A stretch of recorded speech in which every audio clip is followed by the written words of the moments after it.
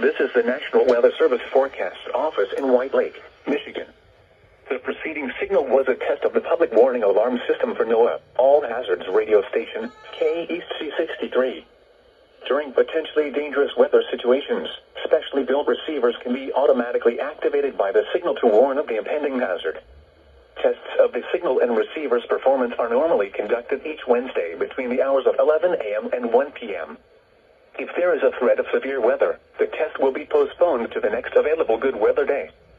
Reception of this broadcast, and especially the warning alarm, will vary at any given location.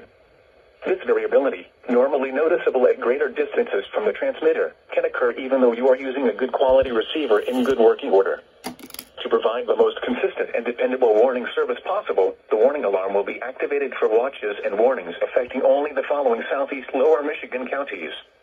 Livingston, Oakland, Macomb, Washtenaw, Wayne, Lenawee, Monroe, and St. Clair.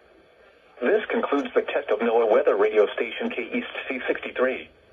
We now return to the normal broadcast.